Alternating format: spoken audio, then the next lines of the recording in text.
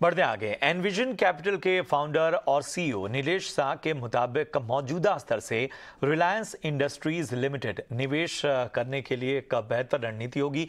साथ ही निवेशकों को H D F C D F C bank और आईसीआईसीआई बैंक पर भी नज़र रखनी चाहिए।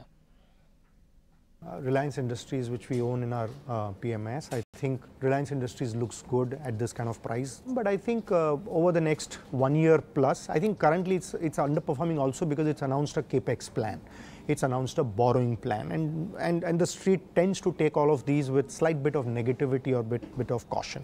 But I think it's there pretty much in the price. Um, so I think that at this kind of prices looks good. I think the HDFC twins, um, I think they look good um, especially post the merger. I think uh, they should look good. So that pack looks extremely good. You could even kind of say ICICI Bank or anything like that. I think some of the defense names, names like Bharat Dynamics or Bharat Electronics, some of these names which I'm taking, we own in our PMS. I think these kind of companies do they look they look pretty good. I think from at least even a one year or a or even even from a one to three year perspective, these kind of large cap names look good.